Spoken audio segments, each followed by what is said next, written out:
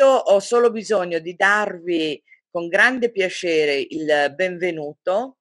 Sono molto felice di avere appunto ospiti il, il presidente Scarante, Alessandro Marzamagno che è un caro e antico amico e anche il giovanissimo bibliofilo eh, Davide Galli. Eh, io sento la necessità mhmm, di ringraziare la professoressa Caterina Carpinato perché quando gli ho chiesto in nome, le ho chiesto in nome di questo libro di provare a mettere in collegamento eh, gli iscritti all'Ateneo Veneto e il circolo dei lettori, eh, ha risposto subito con, eh, con, grande entusiasmo e di questo le sono, le sono grata. Per me è una serata un po' speciale stasera perché il, il, i miei legami con Venezia sono antichi. Venezia è stata la città della mia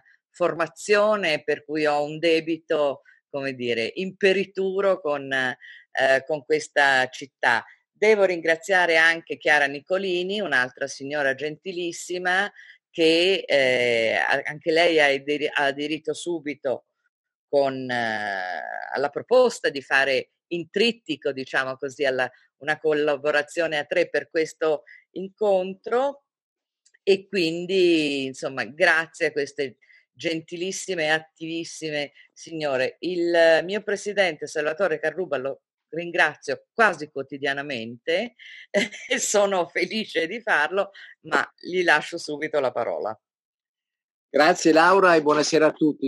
Un saluto particolare questa sera agli amici di Venezia che eh, si uniscono a noi in una serata in cui parleremo di uno dei momenti più luminosi non soltanto di Venezia, ma direi della civiltà in generale, al, che ci presenta Alessandro Marzo Magno, che saluto con grande amicizia, affetto anche Alessandro, un caro vecchio amico, sodale di antiche battaglie politiche, mi fa piacere eh, poter colloquiare con lui, dialogare con lui attraverso i suoi, i, i suoi libri.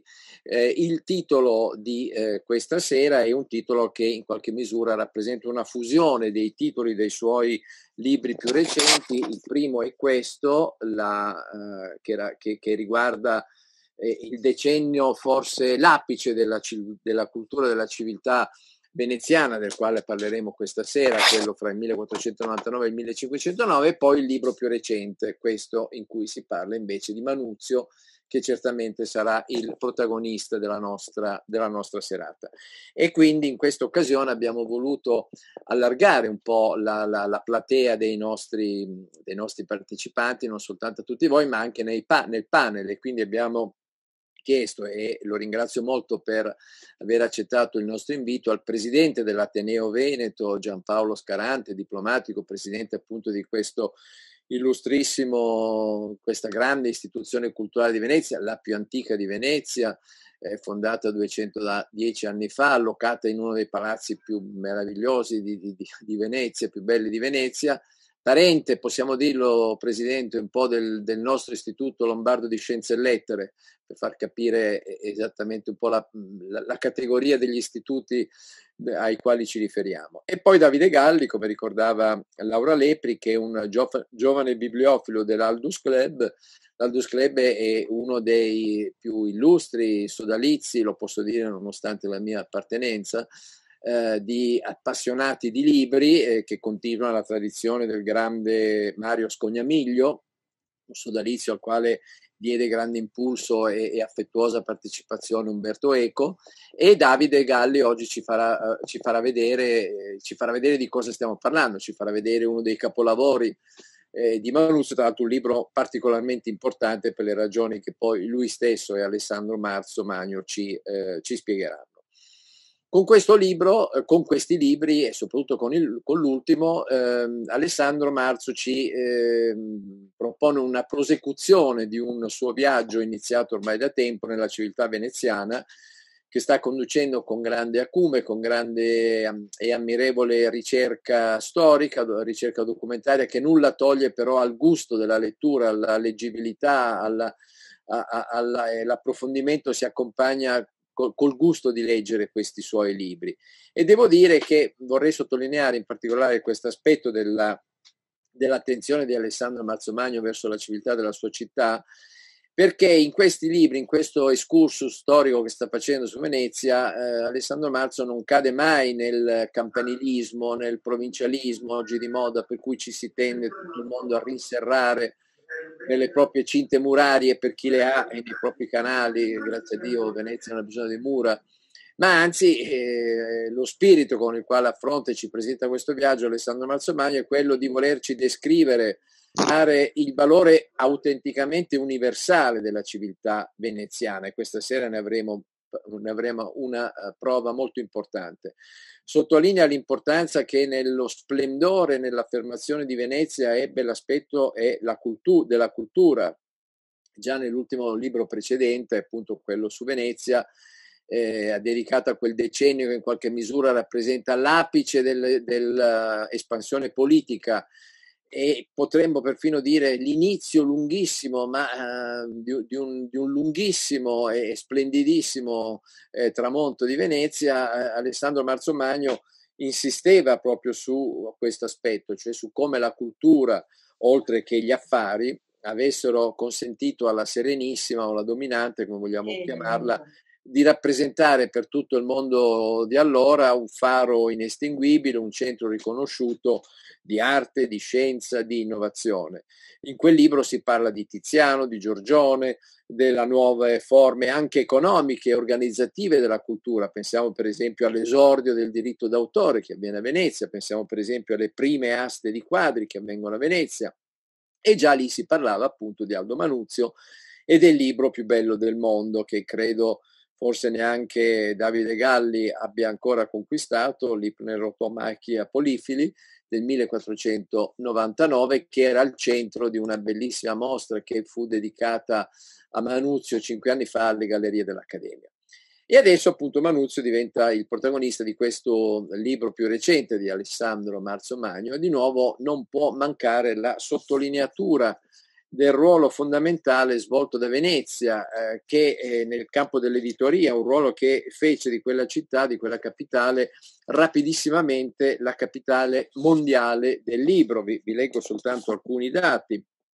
Qua Aldo, ehm, Alessandro Marzo Magno ci ricorda le 4.000 edizioni di Incunaboli che vedono la luce a Venezia entro la fine del XV secolo, che sono il doppio di quelle parigine nel biennio 1495-97, cioè quando già Aldo lavorava, si stampano in Europa 1821 opere, di queste 447 provengono da Venezia e solo 181 da uh, Parigi, quindi diciamo un ruolo che, eh, eh, che, fa di Venezia la capitale dell'editoria dell'epoca, ma soprattutto fa una capitale culturale perché Venezia non si limita a produrre i libri, ma anche li legge i libri. E infatti sempre, eh, sempre Alessandro ci ricorda che eh, a Venezia possiedono libri il 15% dei nuclei familiari, i due terzi del clero, il 40% dei borghesi, il 23% dei nobili, il 5% dei popolani.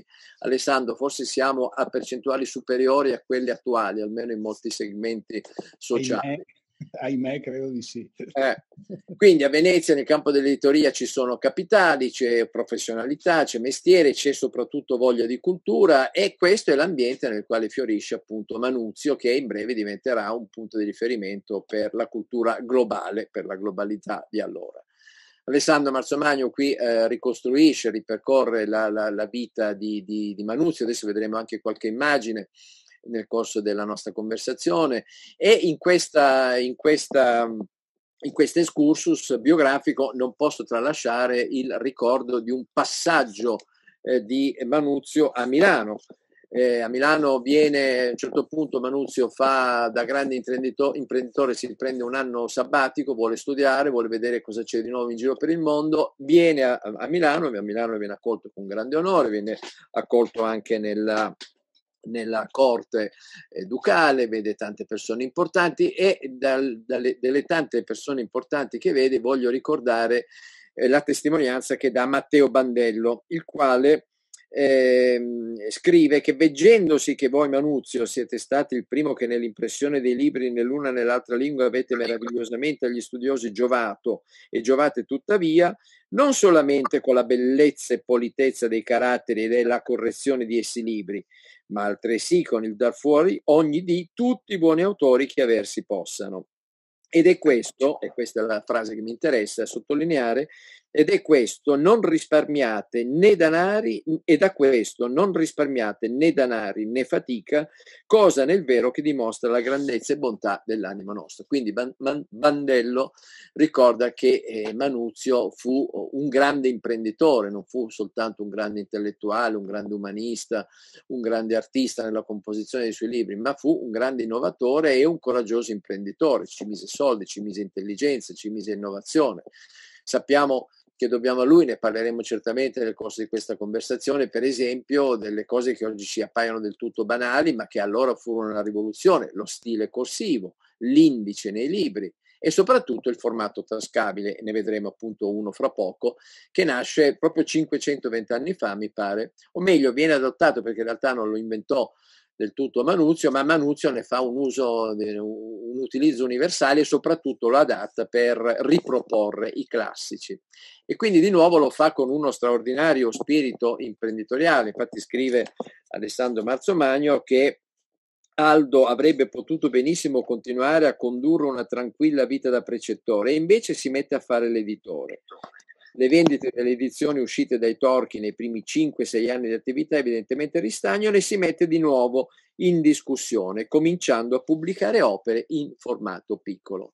E quindi per far questo non si limita semplicemente a rimpicciolire i libri, ma deve fare un oggetto nuovo e quindi deve adottare una carta particolare, eh, deve riuscire ad assicurare delle tirature che per l'epoca sono stratosferiche, parliamo di mille, due, tremila copie, che sono un po' le copie che eh, i saggisti fortunati vendono oggi, insomma non sono molto lontani. Ma Alessandro Mazzo no, vende centinaia di migliaia di copie. Ma Magari, insomma, no, no. modestamente i saggisti normali ne vendono, quando sono 3.000 copie sono tutti contenti. Buone. e, quindi insomma capite bene che, che cosa seppe fare Manuzio e determina soprattutto una rivoluzione nella lettura. Anche qui voglio fare un ponte con Milano, dopo Sant'Ambrogio che aveva inventato, che aveva adottato la lettura silenziosa, Manuzio fa del libro uno strumento non solo più di lavoro, ma anche per impiegare il tempo libero. E infatti c'è un aspetto tra questi due aspetti, tra queste due esperienze che coglie appunto Alessandro quando dice soprattutto si legge per piacere. Aldo crea un bisogno, il bisogno di leggere. E prima dice l'effetto collaterale e la nascita della letteratura silenziosa. Il libro tascabile che sta in mano non va declamato a voce alta, si legge invece nell'intimità e di conseguenza in silenzio. E qui poi Alessandro Marzomagno, e concludo, mh, mm, ho fatto questi accenni non tanto per dimostrare di aver letto il libro, perché l'avevo già fatto, ma per dare qualche spunto alla nostra discussione, lancia un parallelo che posso definire coraggioso, Alessandro, e cioè il, il parallelo fra Aldo Manuzio e Steve Jobs, cioè dice Steve Jobs ha fatto come Manuzio, cioè Manuzio, eh, Jobs ha creato il, nel, nel, nella massa il bisogno di, de, di, un bene che non esisteva, che lui inventa e, e, che grazie a lui diventa un bisogno di massa, per cui all'improvviso tutti ci accorgiamo di aver bisogno oggi del, dello smartphone e allora del, del, libro tascabile. E quindi di nuovo questo collegamento con uno dei più visionari imprenditori del mondo dell'epoca moderna ci fa capire quanto sia stato importante il ruolo di Manuzio nel plasmare la civiltà nella quale ci troviamo. Eh, Steve Jobs ci, ci, naturalmente ci, ci, porta al mondo digitale, un mondo che oggi ci consente di trovarci nonostante tutti i divieti e tutti i vincoli nel nome in questa serata di, di Aldo Manuzio. E il digitale dimostra appunto che non tutto eh, come oggi si usa dire e come alcuni eh, amano sottolineare nel digitale negativo ma che dobbiamo cogliere come Manuzio fece con la stampa dei suoi tempi tutte le, le, le e potenzialità straordinarie. Non dimentichiamoci, concludo, che quando venne inventato il libro, I sapienti di allora fecero la stessa reazione che oggi hanno molti nei confronti del digitale e dissero che la stampa sarebbe stato un disastro perché avrebbe eh, fatto circolare tantissime idee. Quindi do la parola al presidente dell'Ateneo Veneto, Giampaolo Scarante. Prego. Grazie molto per le cortesi parole dette, date dal Presidente. Eh, L'Ateneo Veneto è molto lieto di questa iniziativa che per ora in maniera solo virtuale, ma avvia una collaborazione eh, col Circolo dei Lettori di Milano, con l'Aldus Club. E particolarmente felice di questa serata perché la nostra collaborazione avvia, su, eh, prende piede sulla figura di Alessandro Marzomagno, che è un nostro illustre membro dell'Ateneo, socio dell'Ateneo e vanto dell'Ateneo, direi vanto di Venezia per l'impegno che mette nella ricerca, nella valorizzazione della storia straordinaria di questa città. Io non posso chiedere agli amici milanesi che ci ascoltano di sapere cos'è l'Ateneo, per cui dirò brevissimamente in due parole alcune cose sull'Ateneo. L'Ateneo è forse l'istituzione più antica, come cortesemente ha detto il Presidente di Venezia, certamente è la più attiva, una delle più attive anche in questo periodo pandemico in cui appunto ci siamo convertiti al digitale e tra le sue, la sua istituzione è quella di diffondere la cultura in tutte le sue manifestazioni. Da due o tre anni l'Ateneo, eh, da quando ha assunto la presidenza, cerca di allargare e di ampliare gli orizzonti parlando con tutti, cercando cioè di trovare sponde anche al di fuori del mondo, come è nella migliore tradizione della Repubblica di Venezia che guardava al mondo, insomma. E abbiamo ottenuto alcuni risultati di cui sono molto contento, devo dire, con due importanti accordi che abbiamo firmato con la Grecia. Eh, Caterina Carbinato e Bruno Crevato Selvaggi che sono qui presenti sono entrambi autori e attivi eh, fautori di questa iniziativa, eh, con l'Università dello Ionio di Corfù e poi col Gennadion, la libreria Gennadion di Atene. Prima è stata citata a proposito delle chiavi di Morosini ed è una delle ricadute della nostra collaborazione con Gennadion, proprio quella mostra che c'è stata. E aggiungo così a titolo di curiosità che il discorso delle chiavi emerse durante la visita di restituzioni che fece il Gennadio, una delegazione del Gennadio qui all'Ateneo, in cui parlando il nostro tesoriere disse ma io ho, le, ho, a casa le chiavi di Morosini, lasciando tutti esterrefatti dicendo ma come a casa le chiavi di Morosini? E da lì nacque questa iniziativa attraverso l'opera anche di questa signora che si chiama Maria Gregopuro, che è la direttrice del Gennadio, che ha voluto realizzare questa mostra, che poi avremmo voluto ripetere da noi, ma che il Covid naturalmente ci ha impedito di farlo.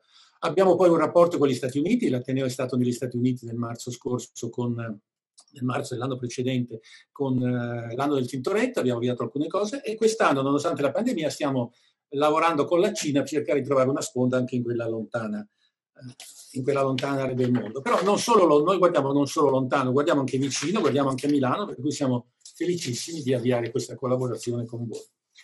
Stasera parliamo di Aldo Manuzio. Io non ne voglio parlare nei termini in cui presumo poi se ne parlerà, ma vorrei un po' provocatoriamente concentrare diciamo, il mio brevissimo intervento su un aspetto di Aldo Manuzio che devo dire mi colpisce molto, mi trova molto interessato e che credo anche faccia in modo che Aldo Manuzio venga traghettato nel presente con un'estrema efficacia. Mi, mi spiegherò meglio ed è il rapporto che Aldo Manuzio ha avuto con la tecnica o con la tecnologia. Noi usiamo le due termini un pochino insieme, ma in realtà sono diversi. Comunque diciamo il rapporto che Aldo Manuzio ha avuto con la tecnica. Aldo Manuzio vive a cavallo tra il 400 e il 500. E voi sapete che Voltaire disse una volta, la storia diventa, bisogna studiare la storia quando si fa interessante, non prima. E secondo Voltaire la storia si faceva interessante proprio in quel periodo lì, nel periodo in cui vive Manuzio e soprattutto nel periodo successivo. Perché la storia si faceva interessante in quel periodo? Perché in quegli anni eh, si, si sviluppavano alcuni fenomeni molto complessi che prefiguravano la modernità, la modernità in cui noi li intendiamo, cioè dei fenomeni che venivano avviati e che lentamente avrebbero portato dei fenomeni che noi conosciamo bene nella nostra vita attuale, ma che allora non c'erano. Io potrei citarne qualcuno, ma lo faccio molto rapidamente solo per darvi un'idea di quello che intendo dire. Eh, il Rinascimento, tra le tante cose, viene avviato in quegli anni e porta una visione del mondo e dell'uomo che è profondamente diversa e che diventerà rivoluzionaria per gli aspetti che poi implicherà successivamente. Le, le, nuove rotte oceaniche, le nuove navigazioni verso l'Asia e verso soprattutto le, le Americhe ampliano la dimensione del mondo. Il mondo improvvisamente si scopre molto più grande e non solo la dimensione del mondo, ma amplia anche la mente degli uomini, che cominciano a ragionare in un orizzonte più allargato. Poi c'è inizia in qualche modo gli albori di quella che sarà la rivoluzione della scienza, la rivoluzione scientifica, la scienza che scenderà dal cielo e si applicherà sulla terra, andrà a vantaggio degli uomini, che porterà a straordinarie innovazioni che andranno dalla medicina, eh, dai primi successi della medicina fino al vaccino contro il Covid di cui noi oggi usufruiamo. E poi naturalmente la stampa, e qui veniamo a, a, a Paolo Aldo Manuzio. Quello di cui sto parlando è quel fenomeno che gli storici chiamano la mondializzazione della storia. Manuzio vive nel momento in cui si avvia la mondializzazione della storia. Ora, perché vi dico tutto questo? Perché Manuzio poteva vivere solo in quel momento e fare quello che ha fatto in quel momento, perché si è guardato intorno e ha visto quello che gli offriva la tecnica e la tecnologia del momento e l'ha calato nella realtà, facendo tutto quello che poi voi racconterete e in parte il Presidente ha già accennato la punteggiatura, i caratteri, il formato, i contenuti, tutta quella straordinaria cosa che noi chiamiamo, attribuiamo appunto a Manuzio. Quello però che vorrei dire, ed è il punto su cui voglio soffermare, è che quello che fa Manuzio non è un'evoluzione lineare del libro, cioè il libro della classicità attraverso il Medioevo, attraverso Manuzio arriva al libro nostro. No, ci sono momenti storici in cui la storia ha una cesura e fa un balzo in avanti, come uno scatto. Manuzio ha fatto uno di questi scatti, perché il libro che esce dall'azione di Manuzio non è la stessa cosa del libro di prima, è un'altra cosa, è più maneggevole, si può utilizzare diversamente, insomma costa molto di meno, insomma ha caratteristiche diverse che lo rendono un oggetto diverso, una cosa assolutamente diversa, è qualcosa che impronterà la società umana fino ai giorni nostri, ma non solo su, nell'arte, nella cultura, ma nella storia, nell'economia, nella politica, il libro diventa qualcosa di diverso. E questo questa specie di cesura che Aldo Manuzio fa è molto interessante perché io a questo punto mi farei due domande, ma noi viviamo in un momento simile a quello in cui è vivuto Manuzio? E poi le persone che in qualche modo possono essere i Manuzzi di oggi, gli Steve Jobs, eccetera, sono altrettanto efficaci? Cioè viviamo in un momento di cesura, siamo prossimi a un balzo della nostra civiltà su alcuni settori. Ecco, io a questa domanda ma naturalmente mi auguro di cui ne potremo parlare, credo che si debba rispondere affermativamente. Noi oggi siamo in un momento in cui la storia fa dei balzi, cioè non va più lineare, non, è che stiamo procedendo in maniera assolutamente compiuta e lineare verticalmente, facciamo dei balzi. Vi cito un esempio a casaccio, pensate al cinema. Il cinema viene inventato, viene scoperto, costruito le prime macchinarie dai fratelli Lumière, che tra l'altro fecero delle riprese di Venezia ottocentesca bellissime che sono molto interessanti. Ora, oggi il cinema che noi vediamo è lo stesso cinema dei fratelli Lumière? No, direi di no. È un cinema estremamente più sofisticato sul piano della tecnica. Abbiamo una qualità dell'immagine magnifica, una qualità del sonoro magnifica. Le riprese sono fatte in maniera diversa. Cioè, la tecnica cinematografica ha subito uno sviluppo enorme. Ma questo sviluppo è stato uno sviluppo lineare, cioè il paradigma di fondo è rimasto lo stesso, c'è uno spettatore seduto che guarda uno schermo, nel buio possibilmente, e si immedesima in quello schermo. Cioè lì c'è stato un processo lineare di costruzione, di applicazione della tecnica alla realtà. Ma oggi possiamo dire che questo possa continuerà? Io penso di no, perché pensate un attimo, la realtà virtuale, quella cosa che sta ormai arrivando, probabilmente arriverà dentro le nostre case, quello è un salto alla Manuzio non è più la progressione lineare dei meccanismi cinematografici, ma è un'immersione totale dello spettatore. Non c'è più lo schermo, lui resta immerso totalmente. È una cesura fondamentale col passato. E quindi noi abbiamo bisogno di questi, di questi manu, di manuzio oggi. Non ce ne sono molti in giro. Steve Jobs è l'esempio più azzeccato. Nella sua biografia, Steve Jobs continua a insistere su una cosa. Dice, io nella mia vita voglio fare una cosa, coniugare le scienze umane alla tecnologia. Lui non era molto versato nelle scienze umane, ma come molti americani ne era rimasto affascinato. L'Europa, la cultura, l'umanesimo, come lui chiamava. Secondo lui aveva bisogno di essere coniugato con la tecnologia. E da questo portato, il Manuzio di oggi, Steve Jobs, ha fatto delle cose che veramente lo ricollegano al passato. Pensate, se voi oggi per assurdo apriste un telefonino dell'Apple, stiamo facendo promozione, ma stiamo anche parlando di cose che non si può evitare di, non, di dire se voi aprite un telefonino dell'Apple, l'interno è bellissimo, perché la, una delle ossessioni di Steve Jobs era che la bellezza e la qualità dell'oggettistica tecnologica dovessero essere totali, come l'umanesimo è globale. Quindi anche aprendo un telefonino doveva essere tutto perfettamente in ordine, perfettamente equilibrato, avere una sua armonia. Ecco, io uh, direi ho, de- ho, lanciato questo di, Aldo Manuzio perché è qualcosa che mi interessa e credo che dovrebbe interessare tutti noi, perché oggi noi questo nostro mondo in cui stiamo procedendo anche noi a sbalzi, a balzi in avanti, in tantissimi settori, potremmo parlare di tanto, ma pensate solo il telelavoro cosa sta cambiando, sta cambiando cose straordinariamente importanti che incideranno sulla vita, sulla cultura, sulla società in maniera fortissima. Ecco, noi abbiamo bisogno di manuzio perché abbiamo bisogno di persone che sappiano oggi guardare alla tecnologia, calarla nel presente, ma soprattutto vedere in che modo questa tecnologia avrà un impatto sul futuro dell'uomo. E questa è l'operazione che va fatta, è questa che Manuzzi ha fatto col libro. E ha trasformato il libro, il libro non è più stato lo stesso, la storia dell'editoria non è più stata la stessa. Oggi noi avremo bisogno di tanti Aldo Manuzio in tanti settori della nostra vita collettiva che richiederebbero un impegno di questo tipo. Io non ne vedo moltissimi, spero che ce ne siano di più, ma Credo che in questo consista la straordinaria attualità di quello di cui stiamo parlando. No? Eh, questo personaggio che riesce a coniugare cose che sembrano lontanissime, ma che a distanza di tanti secoli noi ci troviamo di nuovo a dover cercare di coniugare. E sarà una sfida fondamentale quella che abbiamo davanti, perché la tecnologia che noi adesso consumiamo e consumeremo sempre di più, pensate alle automobili, pensate a quello che sta avvenendo, saranno tutte cesure con il passato a cui noi non siamo molto preparati perché eh, l'uomo di per sé cerca di applicare gli schemi che conosce o che ha conosciuto della sua vita a quello che vede. Noi oggi i nostri schemi che vengono da un Ottocento, da un Novecento estremamente complessi, complicati, secoli difficili, questi schemi che noi portiamo dal passato non ci spiegano molto il presente e quindi abbiamo bisogno di qualcuno all'Aldo Manuzio che sappia al nostro posto coniugare e creare qualcosa che abbia un impatto positivo sulla, sulla storia dell'uomo. Ecco, io mi fermo qui, spero di non avere, eh, essere andato oltre col tempo. e ricevo la parola al Presidente, a Salvatore. Grazie. Grazie Presidente, no, anzi la ringraziamo per questo intervento così puntuale e, e, e appassionato che tra l'altro si ricollegava ad alcuni temi che il libro sollevava e che anch'io avevo ripreso. Quindi Alessandro, mi pare che assieme all'ambasciatore ti abbiamo dato qualche palla sulla quale adesso potrai intrattenerci e naturalmente sarai poi tu a dare la parola a Davide Galli quando sarà il momento di presentare il Manuzio di cui ci parlerà. Bene, beh, intanto vorrei salutare tutti.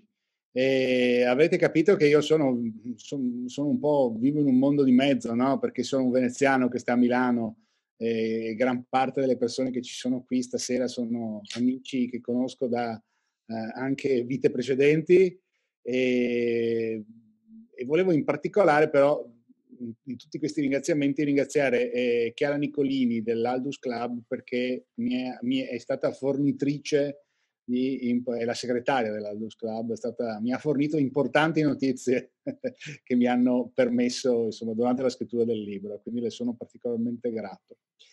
E, ehm, io comincerei un po' con eh, spiegare un po' con un po' di biografia di Aldo Manuzza, quindi magari eh, Sara Salamone potrebbe cominciare a mandare le immagini, così lo vediamo anche in faccia. E perché ha una storia personale e particolare questo, questo signore. È nato attorno al 1450 eh, non si conosce esattamente l'anno di nascita, in un borgo del Lazio che si chiama Bassiano, e, mh, mm, paese medievale molto bello che tra l'altro se mai dovesse capitare a qualcuno di eh, transitare per l'Appia nel percorso da Roma a Gaeta eh, vada a vedere Bassiano perché è molto bello, faceva parte del ducato di Sermonetta e, e non sappiamo praticamente nulla della, dell'infanzia di Aldo Manuzio e anche pochissimo della sua famiglia, ma eh, poi a un certo punto eh, va a studiare a Roma. Mm, non sappiamo se eh, l'abbiano mandato i suoi familiari oppure se sia stato mandato dal, dai, eh, dai, duchi di Sermoneta. I duchi di Sermoneta erano una famiglia di principi caetani eh, e allora si usava no, che i, i, ragazzini intelligenti venissero poi fatti, a studiare a, spe, eh, fatti studiare a spese del signore del luogo. Eh, tra l'altro i legami con i caetani poi rimarranno, quindi insomma, c'è tutto un intreccio di grandi famiglie, di grandi umani, umanisti in questa storia, dopodiché da uh, Roma mm, non sappiamo bene, ma a un certo punto va a Ferrara, eh, va a Ferrara a, a, approfondire o a studiare il greco e, e arriverà a, al Manuzio a un grado di conoscenza del greco eh, tale che sarà in grado di conversare eh, agevolmente in greco antico, di tradurre a vista dal greco al latino e, e poi le, tutte le sue prime edizioni saranno, eh, saranno edizioni greche. Quindi da, da uh, a Ferrara poi uno dei suoi, un, un suo compagno di studi eh, è Francesco Pico della Mirandola, quello che eh, appunto viene, è famoso per la memoria. La sorella di Francesco Piccolo della, di Pico della Mirandola era la principessa Pio, eh, era moglie di, eh, del principe Pio di Carpi, dove, eh, ecco, qui vediamo, eh, abbiamo visto una foto di Bassiano, questo è Aldo Manuzio, eh, già anzianotto, eh, nell'affresco che è un particolare dell'affresco che sta all'interno del Palazzo dei Pio a Carpi, e, ehm, dove Aldo fa da precettore ai giovani principini. Ad Alberto Lionello Pio di eh, 5 e 3 anni e sta lì un certo numero di anni con questi, con questi ragazzini a, a, a, far loro da insegnante. Eh, rimarrà con un eh, rapporto personale apro- profondo con, questi, con eh, i principi Pio per tutta la sua vita. Lo finanzieranno 12 edizioni, ecco questo è il Palazzo dei Pio, no? eh, a Calvi. Tra l'altro è stato danneggiato dal terremoto dell'Emilia, insomma adesso credo che abbiano finito i restauri. E, ehm, e quindi il 12 delle edizioni eh, aldine sono dedicate a, a, ad Alberto Pio, che è un, un record, il, il, il, maggior dedicatario delle edizioni, delle edizioni aldine, quindi è un legame che non si interrompe mai, anche se a un certo punto non sappiamo bene perché Aldo Manuzio si trasferisce a Venezia. E siamo negli anni 80, mm, verso metà degli anni 80 del 400. Non ha, non ha ancora idea di mettersi a stampare, ma anche a Venezia va a fare il precettore. Questo è un ritratto di Aldo. E mm, poi a un certo punto, e non, non, si, non si, sa perché, eh, ma si mette a stampare e quindi comincia questa nuova carriera di editore. Ecco, è stato già detto, Manuzio è un record man per un sacco di cose e quindi è, è stato anche il, eh, il, primo editore della storia. Ecco, questa danza macabra è molto eh, interessante, eh, Lione 1499, perché eh, intanto è lo stesso anno di, eh, dell'ipnodottomachia polifili e poi perché vedete che gli scheletri danzano in una, uh, in una tipografia e quindi c'era già questa idea insomma del libro, della diffusione del libro, eh, della, del passaggio da una forma all'altra, no? di, eh, di, eh, dal manoscritto alla stampa, quindi insomma era un, eh, diciamo che era al passo con i tempi questa danza macabra. E stavo dicendo appunto poi a Venezia si, eh, si mette a stampare e, e sembra che fosse eh, la, la, l'inizio della sua attività di stampatore che fosse molto legata alla, eh, al suo ruolo di insegnante, perché le prime cose che stampa sono, eh, possiamo chiamarli libri di testo, comunque una grammatica, la prima opera che stampa eh, nel, mille, nel 1494 sono gli Erotemata di Costantino Lascaris, cioè una grammatica greca, e dopo stampa le letture, cioè dei, eh, dei testi in greco che servono a chi sta studiando greco con eh, il testo a fronte in latino e con un'attentissima eh, impaginazione eh, che in modo che alla riga di greco corrispondesse la stessa riga del testo latino, in modo che fosse molto facile anche passare da una lingua all'altra e, e, e quindi verificare, verificare il testo. Um, tra l'altro anche, cambia anche il metodo di insegnamento Aldo Vanuzio perché eh, eh, pensa che il greco vada eh, imparato subito eh, assieme al latino e non dopo il latino come invece era, eh, era d'uso al tempo. Prima avevo accennato che è un recordman di tante cose, appunto è anche il primo editore della storia, nel senso che è già stato detto, ma è importante ribadirlo, che è il primo um, uomo di cultura, di profondissima cultura, che però è anche imprenditore e quindi ha un'idea editoriale, quindi una linea editoriale, diremmo oggi. Prima di lui gli stampatori erano eh, delle, de, de, degli artigiani, ma senza dare nessuna eh, accezione negativa al termine, ma voglio dire è che eh, stampavano testi che potessero avere un mercato. Quindi diciamo che l'interesse principale era il mercato. Invece Aldo unisce uh, all'aspetto del profitto l'aspetto culturale, oppure viceversa, insomma. E quindi eh, ha un'idea editoriale che è quella di stampare, la prima che ha è quella di stampare i classici greci in greco. E quindi comincia questa operazione, stampa eh, più pagine in greco lui di quante ne fossero state stampate in precedenza, e stampa tutto Aristotele, già stato detto, eh, anche con un'attenzione spasmodica alla, filo- alla, filologia. Ecco, questo è, allora facciamo un salto, questo è il primo, uh, è il primo corsivo della storia, apriamo una parentesi, sono le prime parole in corsivo, mai, mai stampate in corsivo, in un libro del 1500, le epistole di Santa Caterina, e, ed è una specie di prova, no? Vedete, Gesù dolce, Gesù amore, all'interno di questo libro, è un particolare questo, no? Santa Caterina tiene in mano questo libro aperto all'interno del quale ci sono, eh, ci sono queste parole. È una specie di prova di stampa, perché l'anno dopo, adesso ci arriviamo, l'anno dopo passa a uh, stampare invece i tascabili in, uh, in corsivo. Vabbè, stavo, stavo dicendo dell'aspetto, eh, dell'aspetto, imprenditoriale, per cui ehm, è sempre attento con, eh, sia alla, alla, linea editoriale, ma anche attento al profitto. E al, al tempo, ecco, adesso chi, chi, chi, eh, chi, ci sta ascoltando e ha a che fare con i libri sa che i libri sono un mondo povero. Eh, al, al, tempo no, invece al tempo con i libri si guadagnavano dei soldi.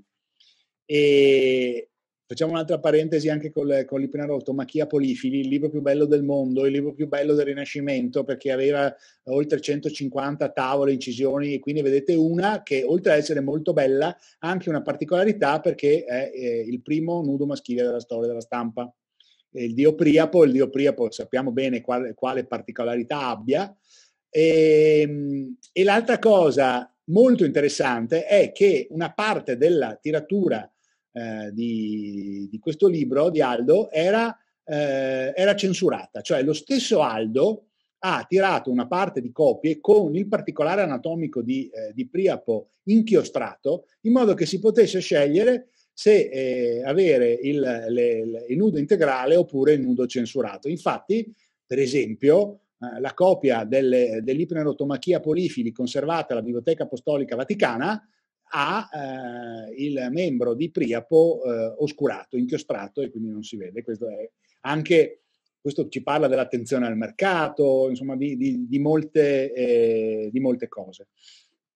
Volevo arrivare a passare dal greco, eh, in, dalla, dalle pubblicazioni in greco che eh, non hanno avuto un uh, fulminante successo economico, cioè funzionavano ma non tantissimo, tanto che nel catalogo, anche il catalogo editoriale è un'invenzione di Aldo, tanto che nel catalogo del 1513 ci sono ancora delle vecchie edizioni eh, in greco non ancora vendute. E quindi, e qui arriviamo al tascabile, e quindi qui chiamo in, eh, poi in eh, causa Davide Galli, e quindi eh, dopo questa edizione che vediamo, eh, dopo il polifilo e dopo il, eh, invece il, eh, l'episodio di Santa Caterina che abbiamo visto prima col carattere corsivo, nel 1501 eh, Aldo Manuzio comincia a stampare libri piccoli. Come è già stato detto, eh, la, um, il formato tascabile non, era, era, conosciuto, ma veniva usato esclusivamente per libri di carattere religioso. La grande innovazione di Aldo è stato quello di usarlo per i classici, però vedo che c'è, che c'è la marca editoriale per cui dobbiamo, una, dobbiamo, parlare anche di questo. e poi magari con Davide Galli eh, torniamo dopo, perché una delle varie innovazioni di Aldo è stata quella di creare il brand, e cioè di eh, utilizzare una, uh, un, una, marca, un simbolo che è questo, la, l'ancora e il delfino, che ha uh, ripreso da una moneta romana che abbiamo visto prima, una moneta di Tito Vespasiano, in, in, nella quale c'era questo simbolo e che gli era stata regalata da Pietro Bembo, illustre umanista e, e collaboratore, eccola qua, collaboratore di Aldo, vedete che riprende il, eh, il simbolo dell'an- dell'ancora col delfino e lo trasferisce nella marca editoriale e poi verrà, eh, verrà anche unito un motto che eh, da principio era Festina Tarde e poi Erasmo da Rotterdam, eh, quando verrà a Venezia nel 1508 per stampare gli Adagia con, con Aldo, eh, invece rivedrà e trasformerà in Festina Lente. E quindi è poi la, la marca editoriale il motto rimangono quelli e saranno anche il motto del figlio Paolo, eh, del nipote Aldo eh, il giovane, perché la uh, dinastia dei Manuzio continuerà e, e nel più classico schema del, degli imprenditori che si usa anche oggi, no? la prima generazione costruisce, la seconda conserva, la terza distrugge sostanzialmente o sperpera, come vogliamo dire, è andata esattamente così, perché eh, Aldo ha creato, Paolo che Laura conosce benissimo perché si è occupata poi del più grande bestseller del 500 che ha pubblicato appunto eh, Paolo Manuzio, diventa anche il eh, responsabile della, della, tipografia vaticana, non si chiamava tipografia vaticana, non ha importanza, e, e invece poi eh, Aldo Junior eh, o Aldo il Giovane metterà fine insomma, alla dinastia.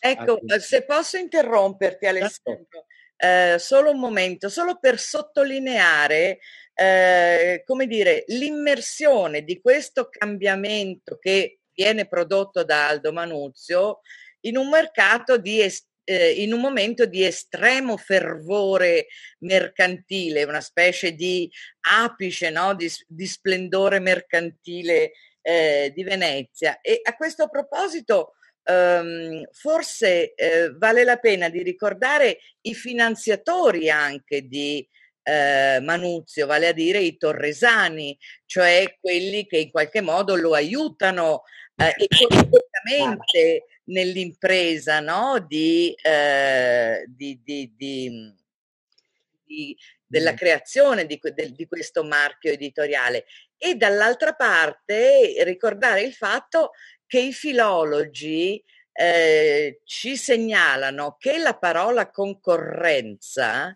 viene fuori, la terribile concorrenza viene fuori proprio in ambito editoriale, perché e la usa Aldo Manuzio quando va al Senato della Repubblica per difendere eh, il privilegio dei caratteri greci a cui tu prima accennavi perché erano costosissimi da far fare agli incisori, no? E quindi lui aveva bisogno di proteggere eh, la propria, i, i propri caratteri a stampa, i propri metalli preziosi, tanto più preziosi perché erano greci. E quindi la parola concorrenza viene, la usa proprio Manuzio, se non mi ricordo male, nel 97, non vorrei sbagliarmi, eh, in una supplica al Senato che gli riconosca il privilegio del, dell'esclusiva dell'uso dei caratteri greci che lui appunto sta per, eh, sta per iniziare. Quindi anche questa, questa cosa, secondo me, piuttosto interessante è un po' dissacratoria, no? Per cui l'editore deve fare i conti con il mercato in modo oh, permanente, mi verrebbe, mi verrebbe da dire, insomma, no? Certo, perché deve essere un imprenditore a tutto tondo. Questa cosa della concorrenza, peccato che non ci siamo sentiti prima perché non la sapevo, l'avrei messa nel libro, vedi? Ma ehm, Aldo Manuzio poi avvia tutta una, una serie di eh, vertenze legali per cercare di proteggersi. E, e, tra l'altro poi, visto che la danza macabra di, che abbiamo visto prima è riportato come luogo di stampa a Lione, a Lione si stampavano le, le false edizioni aldine, eh. Eh, dei falsi libri, dei, dei, libri piccoli con un corsivo riprodotto che venivano spacciate come, come aldine e, e, insomma, che erano delle contraffazioni contro le quali eh, non c'era nulla da fare perché Lione era fuori dai confini della Repubblica di Venezia, per cui non, non, non era possibile far valere le tutele, le tutele del governo veneziano. Ecco. Io però adesso volevo passare al, eh, al tascabile e quindi se Davide Galli eh, ci fa vedere, eccolo qua. Eccolo. Allora, eh, questo è l'ultimo, lo dicevo subito, questo è l'ultimo libro che stampa eh, Aldo Manuzio, mm, esce il De Rerum Natura di Lucrezio esce nel eh, gennaio del eh, 1515, eh, Aldo muore in febbraio. Quindi la storia dei tascabili era cominciata invece nel 1501, quando appunto, siccome le edizioni greche non funzionavano tanto bene, andavano bene ma non benissimo, come si può dire, come... eh, e quindi c'è un colpo d'ala, no? invece di, eh, di, so, di, cercare di rimediare, Aldo Manuzio rilancia e si mette a stampare in formato piccolo e si mette a stampare classici, prima latini e poi anche eh, in volgare. E quindi opere ad alta, ad alta circolazione e che vendono tanto. Virgilio, che era un autore al tempo, al tempo eh, noto e molto e popolare, eh, Virgilio viene tirato in 3.000 copie. E, e, quindi queste sono tirature molto alte, tanto che nel mercato, e qui poi veniamo all'Aldus Club, nel mercato odierno del, del collezionismo, le edizioni aldine sì, oddio, non è che eh, le regalino, ma non sono particolarmente costose, soprattutto parlo di tascabile, eh, il polifilo sì. Eh, eh, qualche anno fa è stata venduta una copia da Sotheby eh, del, polifili per circa 320 mila dollari, ecco, quindi diciamo che è piuttosto caruccio da comprare. Ma i tascabili invece, con qualche migliaio di euro, eh, si riescono a comprare perché le, la, la, tiratura era alta e quindi a, a, sono sopravvissute eh, un certo numero di copie. Il polifilo, per esempio, ehm, ne sono sopravvissute 600, che dovrebbero essere circa metà della tiratura eh, totale che ebbe questo, questo libro. E, ehm, quindi i tascabili funzionano bene, hanno alt- un'altissima diffusione, eh, altissima sempre relativa ai tempi ovviamente, e, ehm, ma sono anche un progetto culturale perché sono eh, un progetto di stampare i classici senza i commenti, che era una grande novità per allora. E quindi questo lo vediamo soprattutto per Petrarca e Dante, e, in quest'ordine sono stati eh, stampati e Dante viene eh, stampata, la commedia viene stampata con il, con il titolo Terze rime proprio per far, sottolineare il fatto che era un, un, un poema in versi e, e, ehm, senza il commento. Ed era la prima, è la prima volta che Dante viene pubblicato nudo. E qua vediamo anche Lucrezio, no? vediamo nella la pagina essenziale, il testo, il testo e basta. L'altra cosa che va detta è che eh, per stampare i tascabili utilizza il carattere corsivo.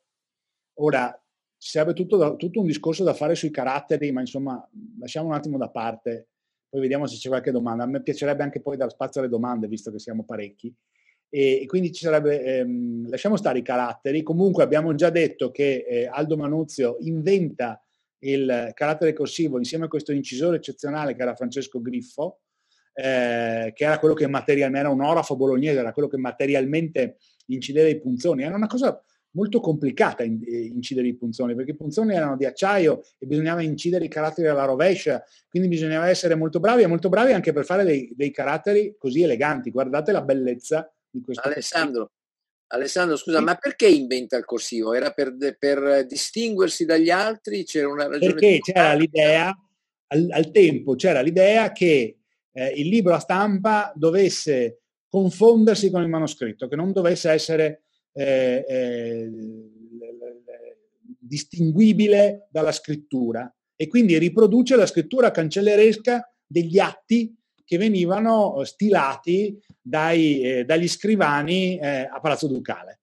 Palazzo Ducale non era solo il luogo dove si governava, era anche il luogo dove si amministrava la giustizia, era una sede di tribunale E quindi c'erano dei, degli scrivani che fuori dalla porta della carta, che si chiama così per quello, eh, scrivevano carte, scrivevano atti, scrivevano tutto quello che dovevano scrivere e usavano questa scrittura qui, usavano il corsivo. E qui vediamo il, eh, la, la, marca editoriale appunto che viene in questo caso... Eh, insomma, che la marca editoriale. Magari Davide Galli, se eh, non so se, se, se, vuole dire qualcosa su questa edizione, sulla rilegatura, per esempio, che prima ha detto che è settecentesca, perché ehm, sono sopravvissute sì. poche rilegature originali. Qualcuno sì, infatti... Prego. Ah, no, no, scusa. Eh, sì, infatti questa non è una legatura coeva, adesso ve la faccio vedere. Eh, non è coeva perché appunto è, de- è settecentesca, è del 1700 francese, però testimonia anche il fatto che sin da subito le edizioni aldine sono state considera- erano edizioni di pregio, sin da, non, non solamente ai tempi nostri, non, non, sono di pregio solo per i collezionisti eh, di oggi, ma lo sono state sin da, appunto dal, dalla stampa. È il motivo per cui anche un, un libro è stato relegato in questa, con, una, con un marocchino rosso così elegante, addirittura qui vediamo il logo dell'ancora impresso in oro. E questo è proprio un esempio del, di un tascabile, un tascabile in corsivo, appunto è l'ultimo, l'ultimo stampato d'Aldo e quindi ha tutte quelle caratteristiche, quelle peculiarità che Aldo aveva, aveva portato insomma alla stampa. Vediamo, questo è il frontespizio, quello che si vedeva, che si vedeva prima, l'ancora aldina, l'ancora secca, perché poi eh, l'ancora cambierà eh, diciamo proporzioni successivamente nel, dal 1540 con gli eredi, quindi con Paolo Manuzio, eccetera. Quest'ancora diventerà un po' più cicciotta, quindi questa invece è l'ancora, l'ancora secca. Sì, eh, se posso interrompere, anche, sì? anche, Aldo ha diverse versioni della sua marca, eh. ce n'è per esempio, che molto simpatica in cui il delfino ha i denti e, e sembra che muova le pinne, no? è un po', un po animato. Ecco, Prego. E qui vediamo, inizia con la lettera, questo fa parte di uno dei 12 eh, libri dedicati ad, ad Alberto Pio, eh, quelli che citavi prima, quindi è uno dei tanti eh, che dedica ad Alberto Pio. Il, cor- il, carattere è il corsivo di Griffo, spero che si riesca a vedere, o appunto che riprende la, la scrittura manoscritta, quindi questi caratteri così, eh, così inclinati e, e, e poi inizia direttamente con un'altra eh, delle innovazioni che ha portato Aldo, che è quella dell'indice. Vediamo che eh, prima del, dell'opera vera e propria eh, Aldo pubblica un indice, il Dare Natura in questo caso è diviso in, in, sei libri, che possiamo intendere come sei capitoli, e, e viene fatto eh, un riassunto delle varie parti indicando per ciascuna il numero di pagina, addirittura è riportato anche il numero di riga, quindi numero di pagine e numero di righe per andare a identificare esattamente eh, l'argomento riassunto. E era poi... scusa, ti interrompo, sì? era un indice più preciso di quello che usiamo noi oggi, perché noi oggi non mettiamo la riga, ma che poi è stato abbandonato perché è costoso, no? perché bisognava dedicarci molto più tempo, per cui eh, la, la, l'indicazione delle righe è perduta, si, si, è perduta per strada, però se ci pensate è, è molto più immediato l'uso di un indice con, con pure le righe assolutamente. E qui vediamo Domanda, appunto... Questo, questo, questa edizione ha le pagine numerate da tutte e due le parti o no? E no, questa infatti uh, la numerazione è solamente sul, sul, fronte, tant'è che appunto l'indice che riporta anche il numero di riga tante volte fa riferimento alla pagina e poi alla riga che può anche scavallare nella pagina, nel, nella facciata diciamo sul retro. Quindi ad ecco, esempio... un'altra, un'altra, innovazione di Aldo è stata quella di numerare le pagine da tutte e due le parti, prima non si usava, però come si vede in questa edizione non sempre, perché poi eh, Aldo adotta queste innovazioni, ma non, non, è detto che tutte le sue edizioni le abbiano, cioè non tutte le sue edizioni hanno l'indice, non tutte le sue edizioni hanno le pagine numerate da entrambe le parti, però è il, è il primo che utilizza questi, eh, queste innovazioni che eh, abbiamo anche oggi nei libri ai nostri giorni e quindi glielo dobbiamo, gli dobbiamo l'indice, gli dobbiamo il frontespizio, gli dobbiamo eh, le pagine numerate da, da, tutte e due le parti, non l'abbiamo detto, ma gli dobbiamo anche il punto e virgola perché è il primo a usare accenti, apostrofi, punto e virgola e virgole uncinate importandole dal greco grazie a Pietro Bembo. Prego Davide. E niente, qui si vede appunto oh, l'assenza di commento, l'assenza di eh, decori particolari, di illustrazioni, eccetera, perché appunto erano pensati proprio per la lettura, per, per la lettura, per eh, la lettura piacevole, quindi ecco, per l'interesse del... Fermati qui, ti facciamo vedere una cosa, sì. perché eh, allora, erano pensati per la lettura, eh, per essere spostati, per essere letti nel tempo libero, ma erano pensati anche per una, uh, una clientela che poteva essere di lusso, per cui in questo spazio bianco che esatto. c'è all'inizio della pagina, lì esatto, era lo spazio poi per miniare. Eh, infatti abbiamo delle, delle, edizioni di Aldine che erano di proprietà uh, principesca, insomma, di illustri, soprattutto quelle di Isabella d'Este Isabella d'Este Gonzaga, che poi fa- si facevano decorare questi libri, si li facevano miniare, per cui mi sembra che sia una S, no? Sì, è una, esatto, è una S. Questa è la letterina. Questa edizione fosse stata di, una, di un signore o di una signora come Isabella d'Este particolarmente ricca, lì ci sarebbe una bella, eh, una bella miniatura. Esatto, sì, infatti lasciava la letterina guida in modo da, da poter andare a miniare il, il capolettera. Ecco, ehm, per cui non erano, non erano pauperistici. Eh. no, no, no, assolutamente, anche perché appunto eh, scrivevi nel tuo libro, era comunque il prezzo era, eh, era importante, era quasi un... Comunque non costavano così poco esatto, era... da poter essere eh, alla portata di chiunque. E anche qui soprattutto eh, curava molto il testo, eh, essendo tra l'altro il terreno natura particolare era stato riscoperto eh, pochi anni prima, un centinaio di anni prima, da, da Poggio Brazzolini dopo che era scomparso per, per secoli. Ecco, quindi eh, avere anche una versione corretta eh, non era facile, quindi Aldo si affidava a grandi umanisti eh, in modo che, che, potessero curare al meglio l'edizione, quindi confrontavano manoscritti, confrontavano varie versioni per offrire poi al lettore un prodotto, un prodotto di qualità a tutto tondo, sia nella fattura sia anche nel contenuto vero e proprio. Aldo era filologo e insomma i, i suoi collaboratori erano, erano, erano, filologi. Ecco, adesso beh, il, il, dorso dorato, il taglio dorato, anche questo è... Dorato, sì, questa è una peculiarità no. anche francese. Questo... Esatto, e, ecco, una cosa, una, un'edizione del genere, adesso non questo, anche perché non vogliamo sapere i fatti tuoi, ma un'aldina, un, come si dice, un, un tascabile aldino sul mercato antiquario oggi, io ho visto anche banalmente su eBay 4-5 mila euro, no? Te lo porto. Sì, entro entro i 5 mila euro per i, per i tascabili, poi dipende in, base alla tiratura, alla disponibilità sul mercato, però sicuramente i prezzi sono quelli, eh, andando fuori appunto da mostri sacri come il polifilo di, di cui citavi prima. E no, insomma, prezzi... un tascabile, questo era per dire dell'idea anche del mercato antiquario, no? Sì, un sì, tascabile, sì. Eh, voglio dire, 4-5 mila euro, che certo è una spesa importante, eh, ma non è inarrivabile come i 320 mila euro del, dell'ipnotomachia polifili, insomma. Ecco. Per quelli, quello bisogna limitarsi a vederlo in biblioteche o in esposizioni quando, quando lo effettuano in mostra.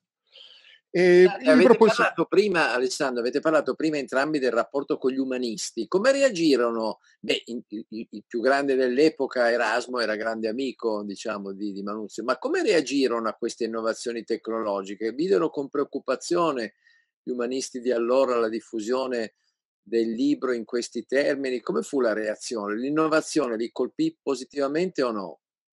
Beh, quelli ovviamente io posso parlare per il circolo di Aldo, sì, perché lavoravano con lui e quindi eh, senz'altro erano partecipi di questa, di questa innovazione. Magari forse Laura può uh, ampliare, visto che lei si è occupata poi anche di Valdassare Castiglione no? degli anni successivi, eh, forse tu puoi mh, ampliare anche al di fuori, voglio dire. Dei, dei... Sì, sì, no, nel senso che ci furono le reazioni più contraddittorie.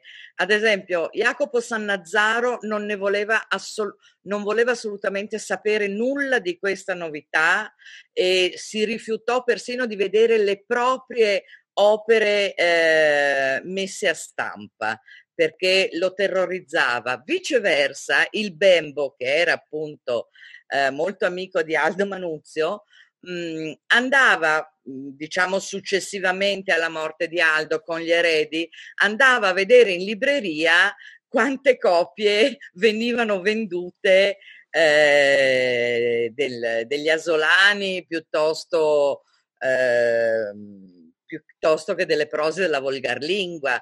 Eh, e, scusami Laura se interrompo, sindrome autoriale, esattamente quello che facciamo noi oggi, no? Esattamente. Andiamo in libreria, contiamo le copie, le giriamo per, per, perché siamo Esattamente come oggi. Esattamente. E non c'era il circolo dei lettori. c'era l'Accademia Aldina, insomma, c'erano varie cose. no, e Bembo non solo andava a vedere quante copie vendeva, ma si arrabbiava moltissimo perché spesso i primi editori delle sue cose non gli eh, davano esattamente il numero tir- delle tirature, della tiratura, diciamo così, e falsificavano addirittura le opere eh, stesse di Bembo e quindi lui era assolutamente eh, furibondo.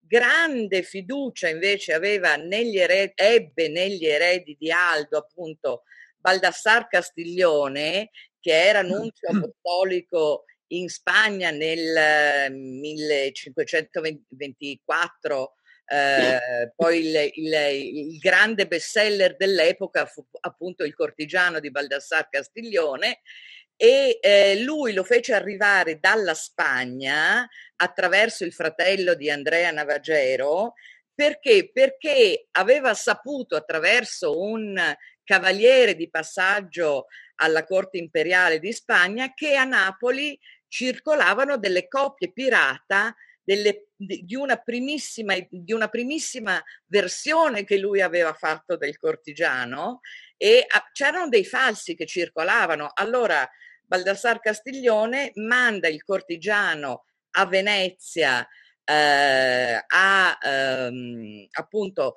a casa Manuzio, lo, lo, fa lo fa consegnare dal fratello di Andrea Navagero a Manuzio che è già morto però nel frattempo e dite eh, mi raccomando stampatelo, addirittura dà dei soldi perché la carta sia la migliore, perché l'edizione, eh, alcune copie di quell'edizione andranno in mano all'imperatore piuttosto che al Papa, quindi lui mette dei soldi perché venga stampato il cortigiano di, Baldassar, di Baldassar Castiglione e eh, consente anche che il suo italiano, che in quel momento è eh, diciamo così, più lombardo che eh, aderente all'italiano del Bembo, invece che aveva appunto con le prose della volgarlingua nel 25 codificato l'italiano letterario, Baldassar Castiglione permette che venga messo mano al cortigiano e lo fa un altro personaggio appunto della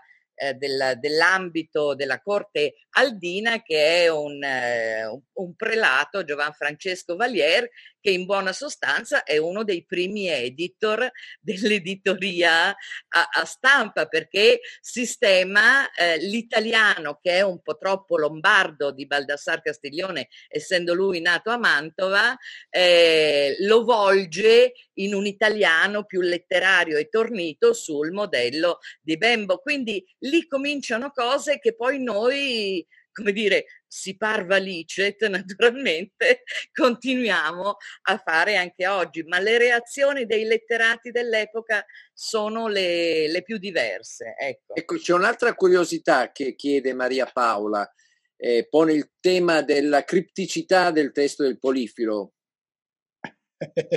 Effettivamente eh, ha ragione perché il Polifilo è un libro illeggibile, infatti è stato sempre poco letto e molto guardato eh, ha, un, ha, questo, ha, questa lingua che è un, un'invenzione, che è un misto di volgare con latino e anche parole greche e, e parole inventate, perché comunque è un, li, è un libro onirico, no? Il, è una, una, storia d'amore onirica.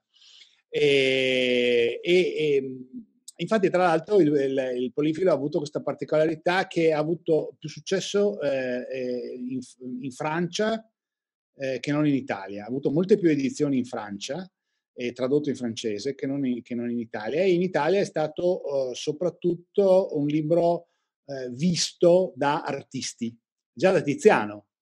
Chi si è occupato, insomma, gli storici dell'arte che si sono occupati seriamente di queste cose, ritrovano per esempio nella Venere del Tiziano la posizione che ha eh, che c'è in una incisione eh, del, del polifilo che insomma viene eh, chiaramente ripresa da Tiziano, ma non è l'unico caso, insomma ci sono parecchi artisti, anche, anche la famosa Tempesta del Giorgione, eh, che è così questo quadro misterioso, no? che è il primo quadro in cui il, il, il, dipinta tra il 1505 e il 1507 circa, è il primo quadro in cui il paesaggio diventa protagonista. Beh, anche lì ci sono degli elementi, le colonne mozzate, per esempio, eh, che si ritrovano nel polifilo. Ora, ovviamente noi non sappiamo se Giorgione le abbia riprese, però diciamo che chi si occupa di queste cose ritiene che sia assolutamente, assolutamente possibile.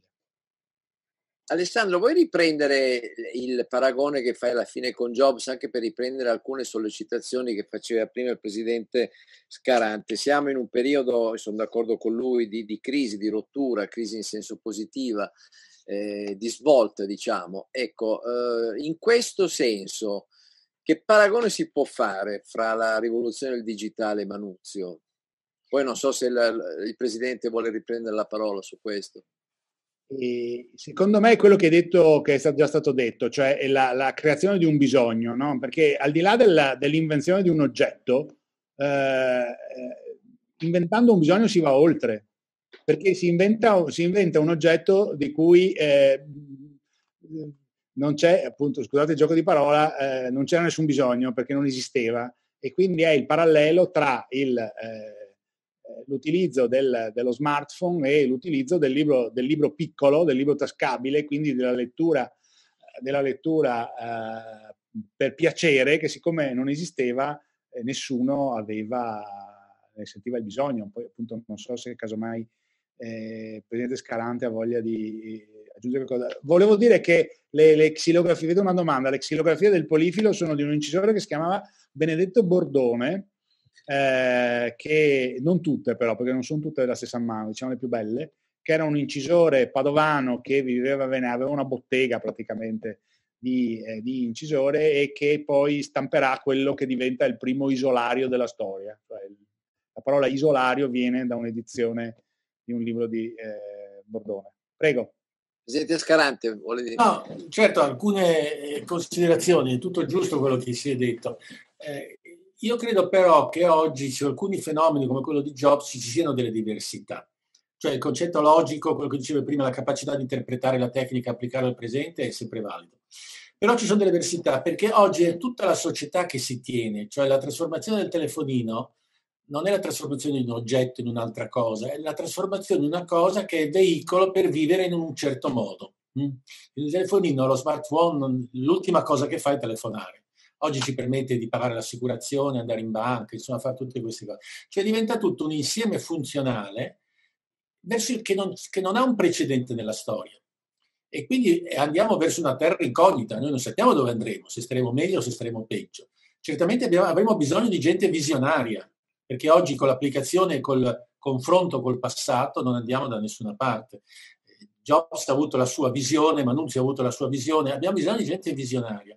Io sarei contento di, di fare piacere sentire cosa pensa Alessandro Marzamagno del digitale del libro, che in realtà non sta prendendo, come posso dire, quello slancio che uno poteva ipotizzare. Il libro elettronico è una specie di libro di serie B che si usa per andare in treno ma non è che sta sostituendo il libro, mentre invece telefonini e altre cose hanno sostituito altre cose.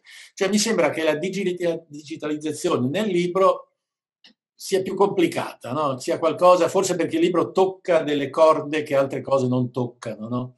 Il libro è già un'immersione. Noi non leggiamo il libro, lo teniamo in mano, lo tocchiamo, lo mettiamo in un certo posto, poi lo riprendiamo. Il libro è già qualcosa di diverso dalla sola lettura, no? lo è già diventato. Quindi mi domandavo cosa pensi del digitale nel libro, cosa succederà? Hai un'idea, hai un'impressione? Su questo no. aggiungo una cosa pronto a essere smentito dai giovani ascoltatori a partire da Davide Galli, cioè il fatto che anche i ragazzi, anche i giovani non amano i libri digitali, se leggono non leggono sul digitale, leggono sulla carta e qualcuno anche li raccoglie vecchi libri. Confermo, ovviamente confermo.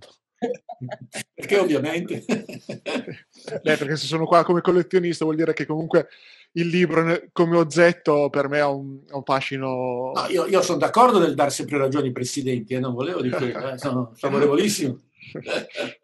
Comunque, questa domanda devo dire che eh, ritorna e io dico sempre eh, che quando Aldo Manuzio nel 1501 ha stampato il primo tascabile non aveva ovviamente la più pallida idea che 500 anni dopo noi avremmo continuato a utilizzare questa sua innovazione.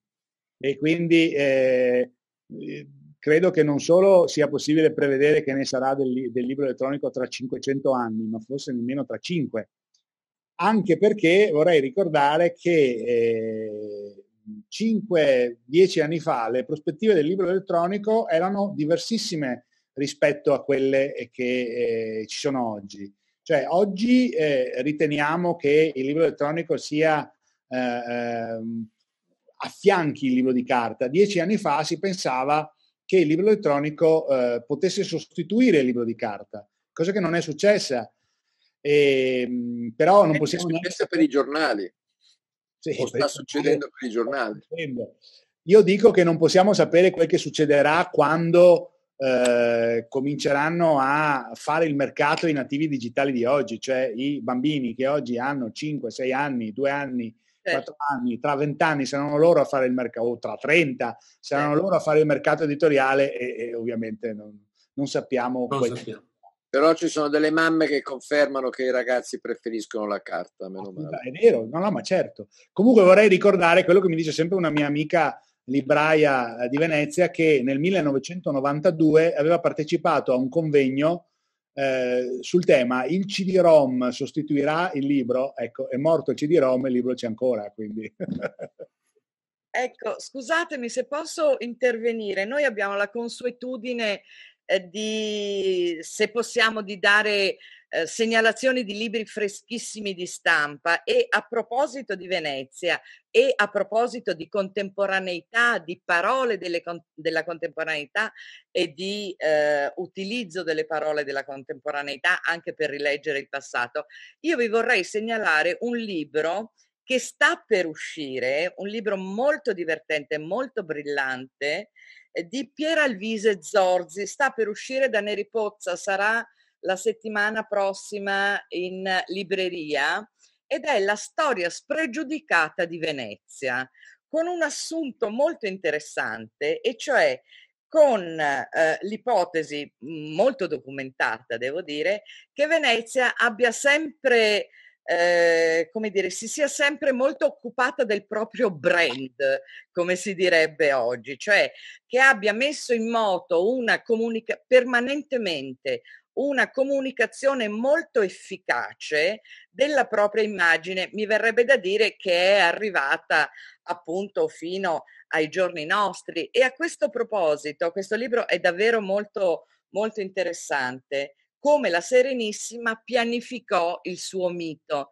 E a questo proposito mi viene in mente la terribile storia del, dello storico Marin Sanudo che avrebbe voluto sempre diventare no, lo storico ufficiale della Repubblica Serenissima e che per tutta la vita inseguì questo sogno, non gli andò bene mai eh, e fu appunto sostituito ehm, eh, da, dall'Andrea Navagero di cui si parlava prima, diventando lo storico, che, che divenne lo storico ufficiale di Venezia, perché sapeva scrivere magnificamente, perché sapeva scrivere in latino, recitava le orazioni in latino. E il povero Marin Sanudo, che era sempre un che era un cronachista preziosissimo perché molte cose che si sanno di Venezia dell'epoca eh, le sappiamo anche grazie ai diari di Marin Sanudo, ma non gli riuscì mai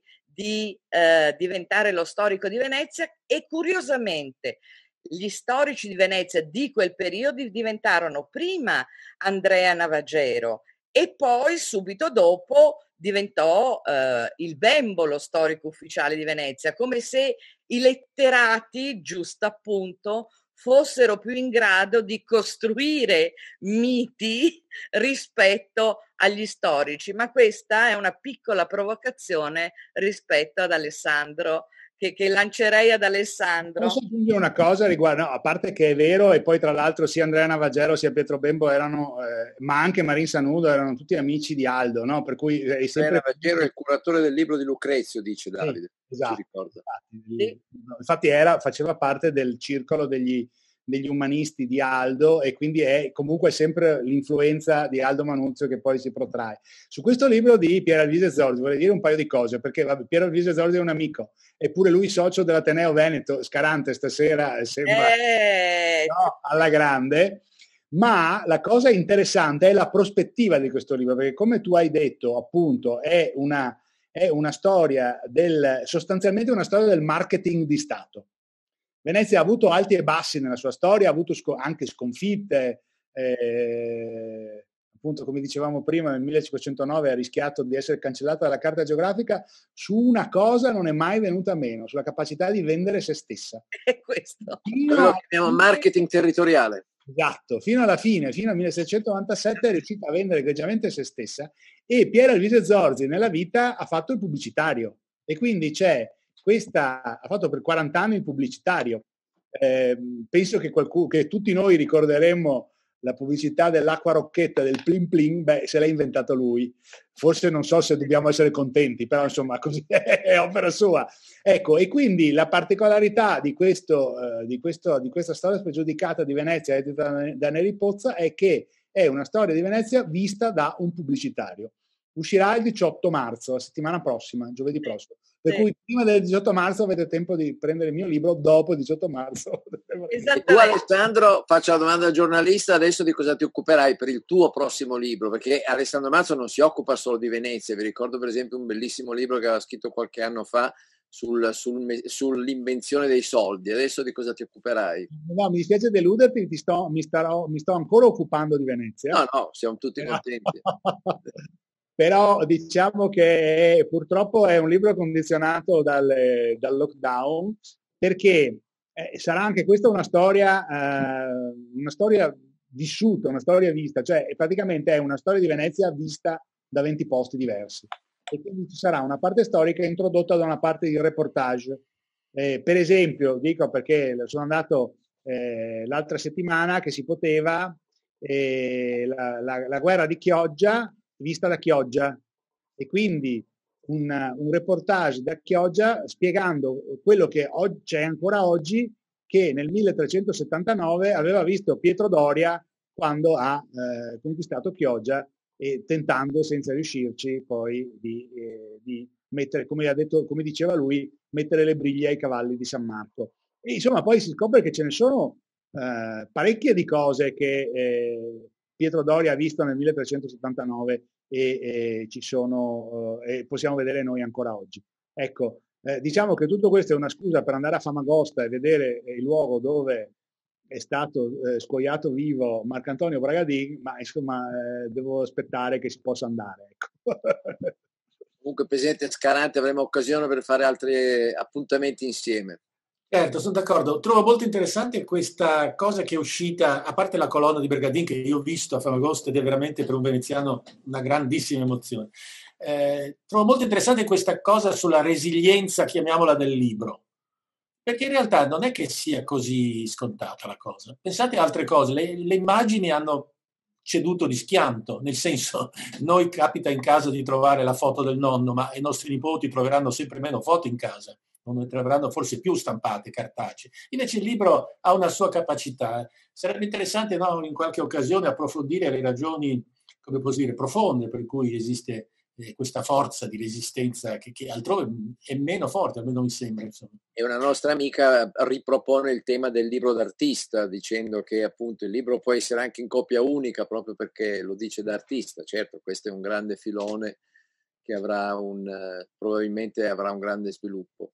Io vi ringrazio tutti per quanto mi riguarda, ringrazio molto il Presidente Scarante, ringrazio Davide Galli e i loro i sodalizi che ci hanno voluto accompagnare questa sera, l'Ateneo Veneto, l'Aldus Club che nel suo marchio ha proprio la, l'ancora di Aldo e naturalmente Alessandro Marzomagno, tutti gli ascoltatori e restituisco la parola a Laura che magari ci, ci tiene informati anche sulle prossime attività, sui prossimi appuntamenti. Sì, grazie Presidente, volentieri. Eh, allora mh, mhmm, lancerei, come si dice in questi casi, il prossimo, il prossimo appuntamento e a proposito di Famagosta, Turchia e Grecia che è stata evocata più volte stasera, il prossimo incontro sarà dedicato a un libro molto interessante di Eva Cantarella dal titolo uh, Sparta e Atene. Eh, come dire, un dualismo che ci sembra particolarmente eh, interessante, soprattutto in questi tempi in cui più volte ci siamo, come dire, fermati a riflettere sulla parola democrazia, democrazia diretta, democrazia rappresentativa, oligarchia. Eh, e quindi insieme ad Eva Cantarella e a Nicola Gardini, che è un, uno storico, un, un latinista, grecista appunto e, e comparatista che insegna in Inghilterra, insomma, torneremo nella Grecia antica con due sistemi di, governi, di governo eh, contrapposti. Cercheremo di capire che cosa significa democrazia alla, alla, fonte. Ringrazio tutti moltissimo, appuntamento fra 15 giorni, anzi con una nuova rubrica del, del Circolo dei Lettori che partirà dal 17 eh, marzo online che si intitolerà Conversazioni fra amici che leggono e i primi due ospiti saranno eh, Rollo e Teresa Ciabatti. Eh, questo solo sui social, faremo delle dirette, eh, delle dirette unificate Facebook, Instagram e YouTube eh, proprio perché eh, la, la, tecnologia ci permette di, di, continuare a stare insieme nella speranza di tornare prima o poi a casa Manzoni e, e di avere ancora gli ospiti di stasera a casa Manzoni nei prossimi mesi, quando sarà possibile. Grazie